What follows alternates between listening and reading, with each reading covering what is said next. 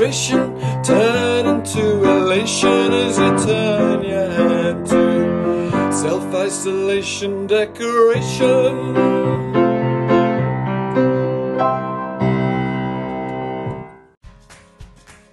Hello there, Phil here from Paint the Town Green, giving you some decorating tips to help you with your self-isolation decoration. Today I'm going to show you how to paint or prime and paint shelves. So we've already prepared them, if you're coming in. I'm going to show you what we're going to need. I've laid it all out on the bench here. We are going to need a paintbrush. There's the paintbrush, just got the cover on. There we are.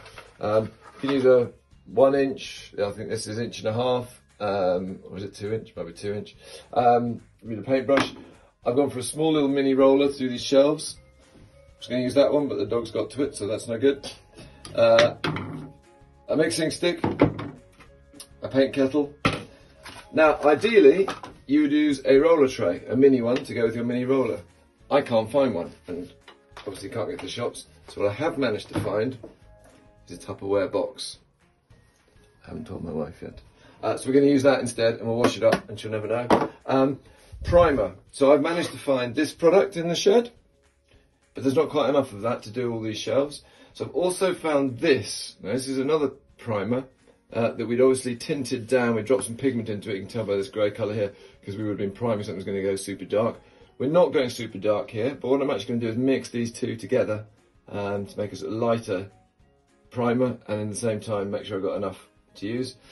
Now, usually, ideally, for painting these shells, I'd use an eggshell finish. That is what I would normally do but I don't have any.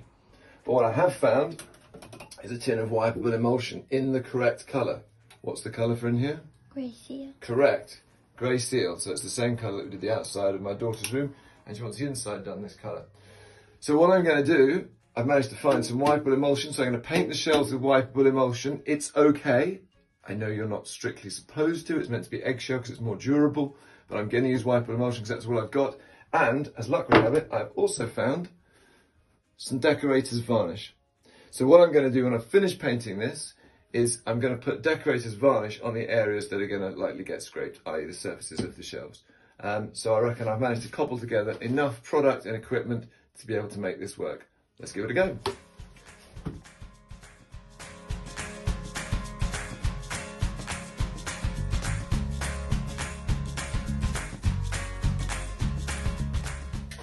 Okay, that's our edges done. Now we go in with a roller to do the flat surfaces. I'm going to pour some into my Tupperware box.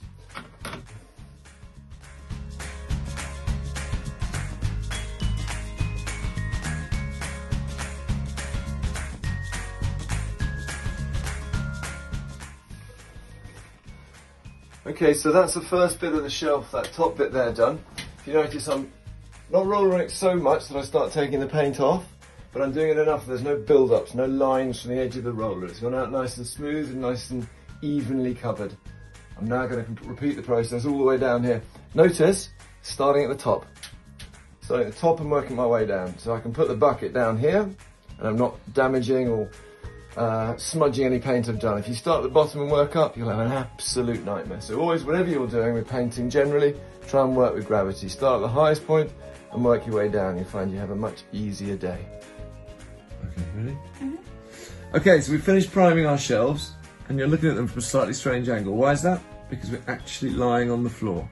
Why are we lying on the floor? We're lying on the floor because at some point, whenever you're painting anything, it's a good idea to lie on the floor and if you're painting a bathroom, to sit on the loo and see what you can see.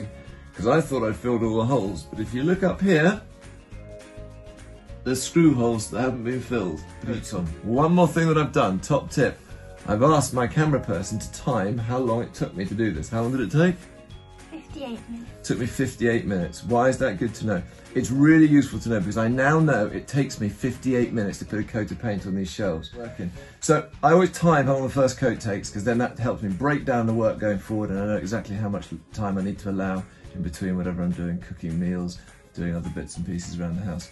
Um, so there we are. I'm going to just put the coats on, do those second fills and the caulking we've talked about, and then we'll show you the finished product.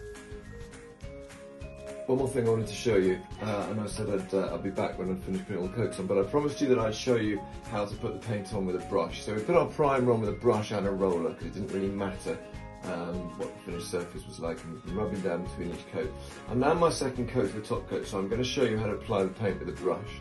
Um, we'll often give clients the option if we're painting uh, uh, MDF if they want a roller finish or a brush finish. Secret with a brush finish is you just need to keep moving. You need to keep it what we call a wet edge um, so the paint doesn't start dragging. Um, so I'm going to paint this top bit, which is one of the more challenging things to do because it's a big open area and I want to do it with a brush whilst keeping a wet edge. So let me show you how you would eggshell, although we're not actually using eggshell, but if we were using eggshell, uh, an MDF surface using a brush. So we start on our edge, and we want to keep our brush moving nice and quickly. Get the paint on in one direction. Now, if you feel it's a bit too built up in some areas and you think, oh, this isn't going on very smoothly, you can do, I think some people call this cross hatching. So something I sometimes do is you go 90 degrees, not pressing quite so hard, quick movements, like that, and then back the way that you went. And that disperses the paint a bit more evenly. And then you go back the original way, again, getting lighter with your pressure all the time. Keep you moving, so we've got to keep our wet edge. So I'm going to continue moving.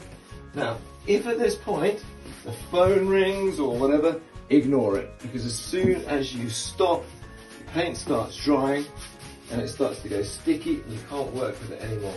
If you're struggling to cover an area and your paint's going off more quickly than you can catch up, little trick is just put a little nip of water in it, particularly if you're doing a final coat. Put a little nip of water in your eggshell, just loosen it up a bit and give you sort of a little bit more time. So Okay, so I'm all done. I've done my primer, I've done my two coats of paint. And when that all dries back, it should look uniform. It's a bit blotchy at the moment because if the paint dries out, you get different uh, levels of, of, thickness of paint, so it can look blotchy, so don't panic. Best thing to do is walk away, come back when it's all done and check it over when it's dry. So that's me done with this. I'm going to show you next time about painting the skirting and also about putting varnish on the areas that are going to get lots of traffic. So I'll see you then.